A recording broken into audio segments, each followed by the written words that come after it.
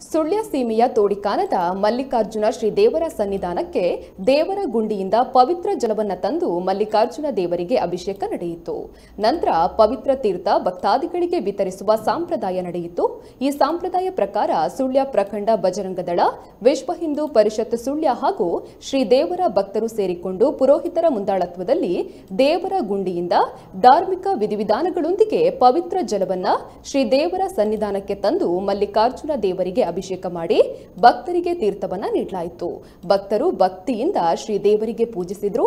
ಈ ಸಂದರ್ಭದಲ್ಲಿ ಬಜರಂಗದಳ ಜಿಲ್ಲಾ ಸಹ ಸಂಚಾಲಕ ಲತೀಶ್ ಗುಂಡ್ಯ, ಕಿಶೋರ್ ಕುಮಾರ್ ಉಳುವಾರು, ಮಲ್ಲಿಕಾರ್ಜುನ ದೇವಸ್ಥಾನ ತೋಡಿಕಾನ ವ್ಯವಸ್ಥಾಪನಾ ಸಮಿತಿ ಅಧ್ಯಕ್ಷರು, ಕಾರ್ಯಕರ್ತರು ಹಾಗೂ ಭಕ್ತಾದಿಗಳು ಉಪಸ್ಥಿತರಿದ್ದರು.